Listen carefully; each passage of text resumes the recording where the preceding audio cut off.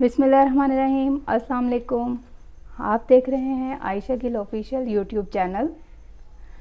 अगर आप मेरे चैनल पर नए हैं तो प्लीज़ मेरे चैनल को सब्सक्राइब कर दें वीडियोस को लाइक और शेयर करें। और जो मेरे पुराने यूज़र हैं, उनको, उनका मैं शुक्रिया अदा करती हूँ कि वो मुझे अप्रिशिएट करते हैं। तो अब चलते हैं रेसिपी की तरफ़। आज जो मैं रेसिपी लेकर आई हूँ, वो है बेसन के रोटियाँ या बेसन के पराठे कह हैं उसको। तो उसके लिए मैंने तकरीबन ये दो कप के करीब बेसन ले लिया है छना हुआ बेसन है, ठीक है। उसके अलावा उसमें जाएगा नमक हसबे जायका, हल्दी हाफ़ टी स्पून, क्रश सूखा धनिया हाफ़ टेबल स्पून, सुरख मिर्च। आप दरा मिर्च भी इसकी जगह पर डाल सकते हैं और ये भी दोनों में से कोई भी आप यूज़ कर सकते हैं। एक टेबल स्पून के करीब तकरीबन। और ज़ीरा टीस्पून के करीब। अनारदाना है, वो एक टेबल स्पून उसके अलावा एक मैंने बड़े साइज़ का प्याज लिया था, उसको मैंने इस तरह से बड़ा बड़ा सा काट लिया है। पाँच से छः हरी मिर्चें हैं। वो उनकी भी मैंने ये कटिंग कर ली है। पुदीना है, पुदीना ऑप्शनल है, अगर आप चाहें तो डाल लें स्किप करना चाहें तो आप स्किप भी कर सकती हैं।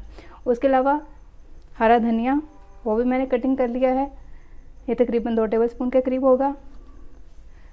सूखी कसूरी मेथी जो होती है, वो एक टेबल स्पून के करीब है। और आप सोच रहे होंगे, टमाटर का इसमें क्या काम? टमाटर जो है, वो मैंने इसको गार्निश के लिए रखा हुआ है, ठीक है? वो भी मैं आपको बताऊँगी कि कैसे उसको मैंने यूज़ करना है। तो चलने आए।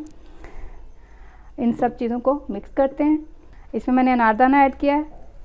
अब सूखा धनिया। ज़ीरा। सुरख मिर्च। या आप अपनी मर्ज़ी से कम या ज़्यादा कर सकते हैं। हल्दी। हल्दी इसमें अच्छा कलर लाने के लिए मैंने ऐड की है। नमक, हसबे ज़ायका।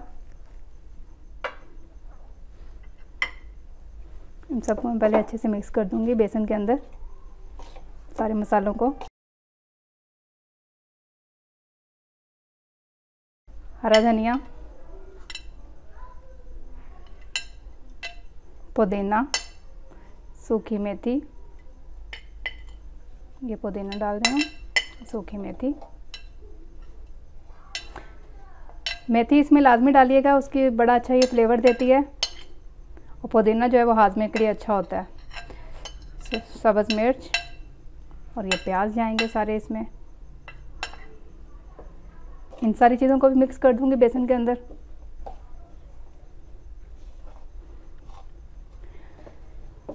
हरी और सुरख मिर्चें आप अपनी मर्ज़ी से कम या ज़्यादा इसमें ऐड कर सकते हैं।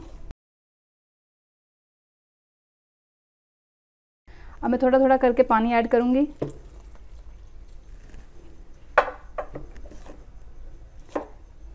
इसको हमने बहुत ज़्यादा पतला नहीं करना।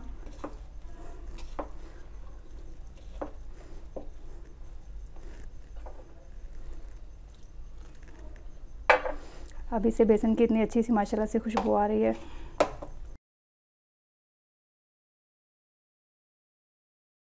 असल में ये मौसम ही ऐसा मज़े मज़े का है दिल चाहता है, कोई ना कोई कोई ना कोई मज़े मज़े की चीज़ें जो है, बनती रहें और इंसान बस कंबल के अंदर बैठ के तो उन चीज़ों को खाता रहे इंजॉय करता रहे। हाँ जी, नमक मैंने इसका चखा था, नमक मुझे थोड़ा सा कम लगा था, मैंने थोड़ा सा नमक और ऐड किया इसमें। ये देखें, बस इतना पतला आपने रखना है, ये। ना इसे गाढ़ा हो ना इसे ज़्यादा पतला हो वरना वो रोटी के ऊपर ठहरेगा नहीं।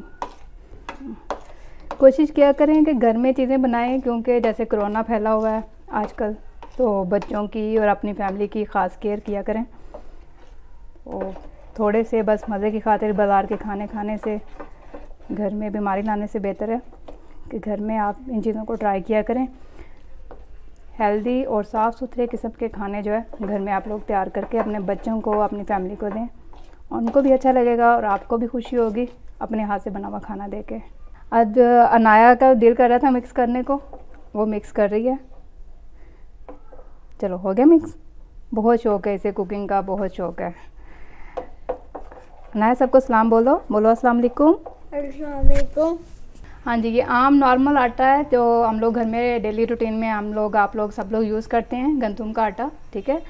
तो जिस तरीके से गूंदते हैं, उसी तरीके से आम, जो रवायती तरीका है, उसी तरीके से गूंद के पेड़ा बनाकर तो मैंने रोटी को इस तरह से बेल के रख लिया ताकि थोड़ा सा नरम हो जाए। फिर इसको रोटी के जैसे आपने बेल लेना है।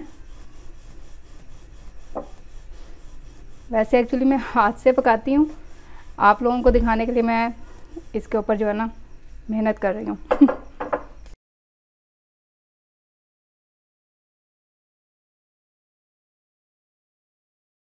अब चलते हैं चूल्हे की तरफ़।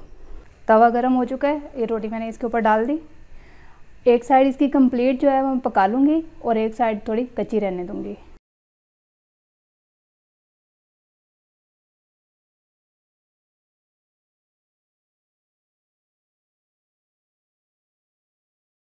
एक साइड से मैंने पूरी की पूरी रोटी पका लिया और एक साइड से बिल्कुल कच्ची है, ठीक है? जहाँ से पकाया है, उस साइड पर मैं बेसन लगाऊँगी।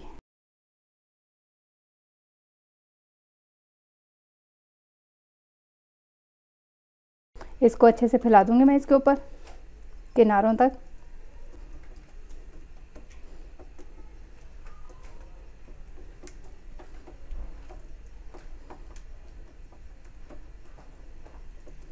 ये बड़ी मज़ेदार सी होती है। शुगर के मरीज़ों के लिए बहुत ज़बरदस्त चीज़ है ये।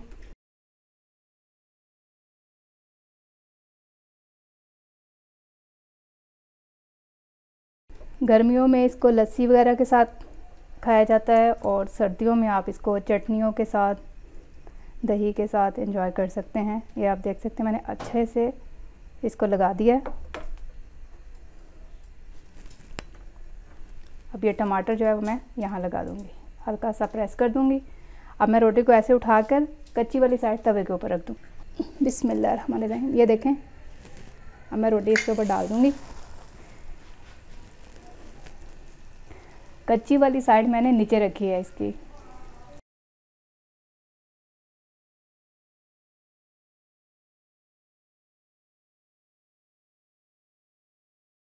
अब मैं इसके ऊपर हल्का हल्का ऑयल लगा दूँगी।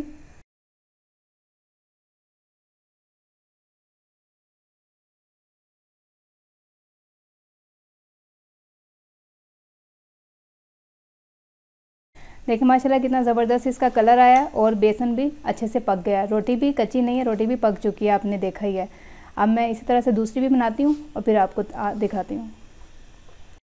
बेसन के मज़ेदार से, करारे, चटपटे से, पराठे कह लें, रोटियाँ कह लें, वो तैयार हैं। इसको हम खाएँगे गर्मा गर्म चाय के साथ।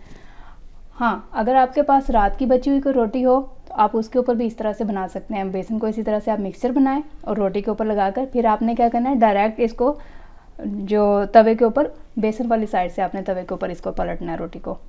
आपके पास बची हुई रोटी हो, आप उसके साथ ऐसे बनाएँ और खाएँ। रोटी भी ज़ाया नहीं होगी और आप मज़ा भी ले लेंगे इसका। तो उम्मीद करती हूँ आपको ये रेसिपी भी पसंद आई होगी। मिलती हूँ एक नई वीडियो के साथ। दुआ में याद रखिएगा। तब तक इजाज़त दीजिए। अल्लाह हाफिज़।